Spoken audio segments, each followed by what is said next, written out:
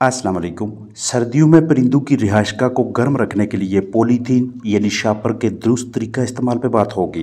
पौने 400 से 400 रुपए फ़ी किलो के हिसाब से दस्तियाब इस तरह का शापर। ठंडी रातों में आपके चिकन्स को कम दर्जा हरारत की वजह से मुतासर होने से बचाने के लिए अपना किरदार बखूबी अदा करता है। तरीका इस्तेमाल अच्छी तरह से देख और समझ लीजिएगा, ताकि ना सिर्फ़ सर्दियों के इस सीज़न में बल्कि आने वाले दूसरे और तीसरे मौसम सरमा में भी इसी शापर को इस्तेमाल किया जा सके। अगर आपके पास डेढ़ सौ से दो सौ मुर्गियाँ हैं तो उनकी रिहाइशगाह के अतराफ़ में डेढ़ से दो किलो पॉलीथीन काफ़ी होगा। और चिकन्स अगर तादाद में इससे भी कम हैं तो इसी हिसाब से शापर की भी कम मकदार खरीदें।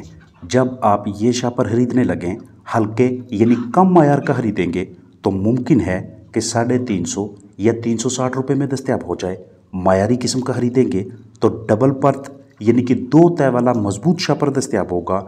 इन दोनों तहों को अलग ना करें, बल्कि ऐसे ही डबल रहने दें और डरबा मुर्गी खाना की अतराफ में लगा दें।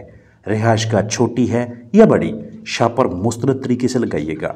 अगर मुर्गी खाना बड़ा है और उसमें पुली, वेंच की सहूलत भी मैसर है तो वेंच के साथ तार लगाकर पर्दा जोड़ के पर्दे को मौसम के मुताबिक ऊपर नीचे करके भी मुर्गियों के लिए माहौल को पुरसकून बनाया जा सकता है। रिहाइशगाह की जाली के साथ शापर और शापर के बाहर पर्दा हो तो ये एक ऐसा निज़ाम बन जाता है जो सहत से सहत सर्दी और धुंध वगैरह के दौरानिया में भी मुर्गियों को ठंडक से महफूज रखता है। जब सर्दी इतनी ज़्यादा ना हो, कम हो तो सिर्फ़ शापर यहाँ तक ऊपर उठा लें और अगर सर्दी की शिदत बढ़ जाए तो शापर के साथ साथ पर्दा भी ऊपर कर लें।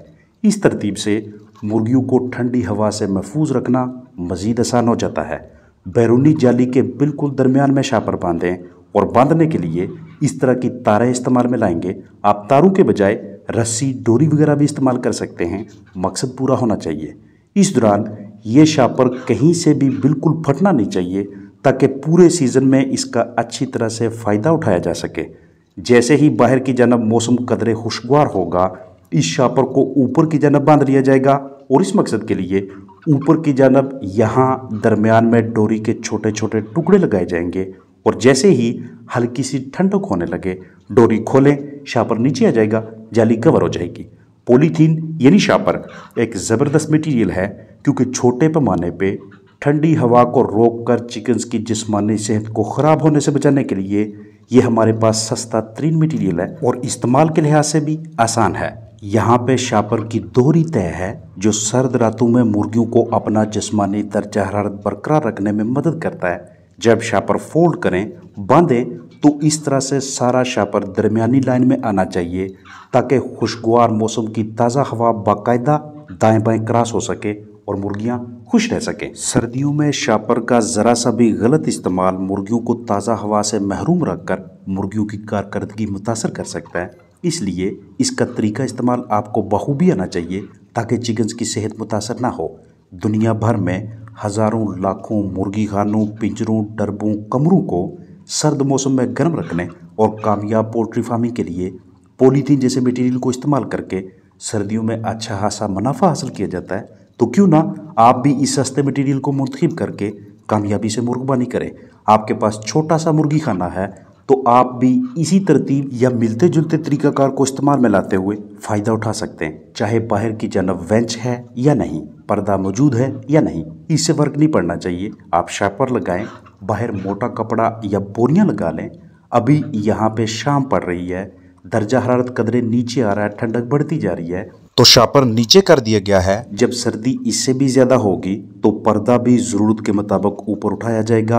अगली सुबह जैसे ही बाहर का दर्जा हरारत कदरे बढ़ने लगेगा तो इसी हिसाब से पर्दा नीचे किया जाएगा और शापर ऊपर उठेगा। शापर लगाने से पहले जाली को अच्छी तरह से चेक कर लें, मुआयना करें। अगर किसी जगह पे टूट फूट है, कुछ हारदार हिस्से बाहर निकले हुए तो सबसे पहले उनकी मरम्मत करें। इसके बाद शापर लगाएँ, ताकि जब आप इसे ऊपर नीचे करें तो उस दौरान पर्दा ना फटे और देर पा भी रहे। सर्दियों में तीन हफ्तों के बाद या एक माह बाद एक मरतबा आपने इस शापर को नीचे उतारना है, ऊपर लगी धूल को अच्छी तरह से साफ़ करके फिर से शापर लगाएँ। मौसम सरमा में चिकन्स को ठंड से बचाने के लिए बाहर की जनब आप कोई भी मटीरियल लगाएँ, उससे कभी भी सारी की सारी रिहाइशगाह को मुकम्मल तौर पर ना ढांपें खास तौर पे शापर की मदद से तो बिल्कुल नहीं, क्योंकि अगर आपने शापर अच्छी तरह से लगाया हुआ है तो ये तकरीबन मुकम्मल तौर पे हवा को रोकने की सलाहियत रखता है। ये आपके चिकन्स के लिए नुकसानदेह हो सकता है। इसलिए अतराफ से कुछ हिस्सा डांपें ऊपर से कुछ जाली का हिस्सा नंगा रहने दें ताकि ताज़ा हवा अंदर तो आए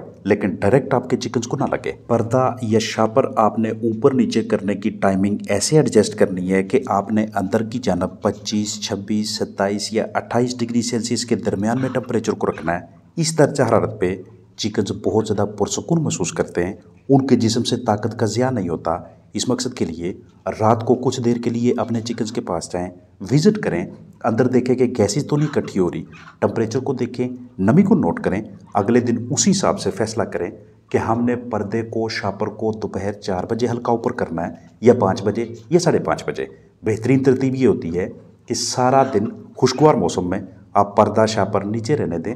जैसे ही दोपहर को ज़रा सी भी सर्दी बढ़ना शुरू हो जाती है तो छः इंच या एक फुट जाली डांपें और जैसे जैसे सर्दी बढ़ती जाए, दर्जा हरारत नीचे आता जाए, वैसे वैसे पर्दे को ऊपर करते जाएँ। सर्दियों में आपको नीचे मौजूद बिस्तर की रैकिंग करनी पड़ेगी। इस मकसद के लिए पंजी वगैरह का इस्तेमाल करेंगे। तो जब भी आप रैकिंग करें, अतराफ में मौजूद पर्दा या शापर नीचे होना चाहिए, क्योंकि रैकिंग के दौरान ऊपर वाला मटेरियल नीचे जाता है, नीचे वाला ऊपर आता है। इस दौरान उनमें फंसी हुई गैसेज भी बाहर निकलती हैं। तो उनके अहराज के लिए अतराफ में खुली जगह होनी चाहिए ताकि मोजर गैसेज का अहराज आसानी से हो सके। मौसम सरमा का आगाज़ है, लेकिन मौसम कदरे खुश्क है ड्राई है तो इसको मद्देनजर रखते हुए बाज़ों का चिकन हाउस के अंदर की जनब डस्ट बन सकती है, धूल उड़ सकती है।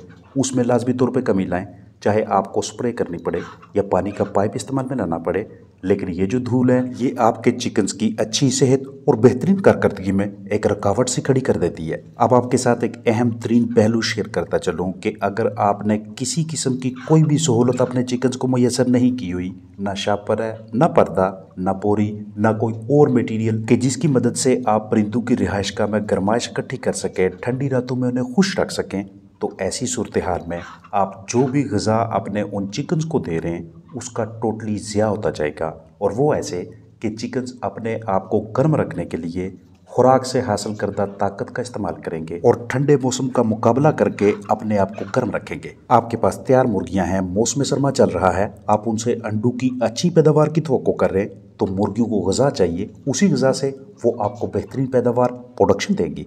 लेकिन जब आप उन्हें सहूलत मैसर नहीं कर सकेंगे कि वो अपना जिसमानी टेम्परेचर मेंटेन कर सकें तो तब मुर्गियाँ ज़रूरत से ज़्यादा खुराक इस्तेमाल करेंगी, अंडे भी कम देंगी, क्योंकि खुराक से हासिल करदा एनर्जी प्रोटीन को अब मुर्गियाँ अपना बॉडी टेम्परेचर बरकरार रखने के लिए यूज़ कर रही हैं, ना कि अंडे की पैदावार के लिए। इसलिए कोई ना कोई सस्ता या दरमियानी कीमत का या कदरे महँगा मटेरियल मवाद लाजमी मैसर रखें, ताकि उसका इस्तेमाल करके मौसम सरमा में अद्वियात के अखराज भी कम रखे जाएँ और अंडों की पैदावार भी मुस्तकिम रहे। शापर को ऊपर उठाना पड़े या नीचे उतारने का वक्त हो जाए तो दोनों काम आपने बिल्कुल आराम से करने क्योंकि जिस रिहाइश का के बाहर शापर लगा हो, वहाँ उसे तेज़ी के साथ ऊपर नीचे किया जाए तो मुसलसल फड़फड़ाहट की वजह से एक टाइम ऐसा आ जाता है कि चिकन्स के लिए ये शापर ही स्ट्रेस की, तनाव की, दबाव की एक बड़ी वजह बन जाता है। अपना ख्याल रखिएगा।